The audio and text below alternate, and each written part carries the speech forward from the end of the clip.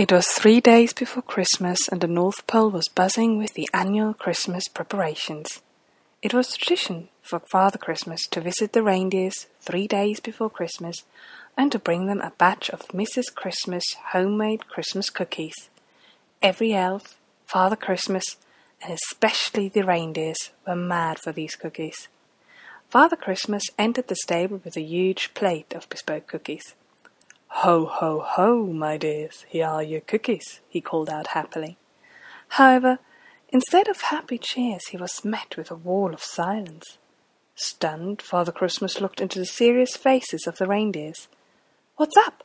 Has anything happened? he asked, concerned.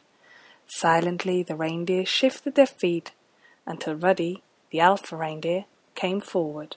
Father Christmas, he said seriously, as you know, we are all very happy here at the North Pole. We are proud to be part of Christmas and proud to help you spreading the presents round the world. However, we are very upset to never have spent Christmas here with our families. He looked at Father Christmas with a stern face. We will not come with you this year. We are very sorry, but we want to celebrate with our wives and children. We are going on strike. So if you want to know what happens Want to know how Father Christmas is going to get round this problem? Visit Amazon and look for the ebook The Day the Reindeers Went on Strike by Veronica Kruse.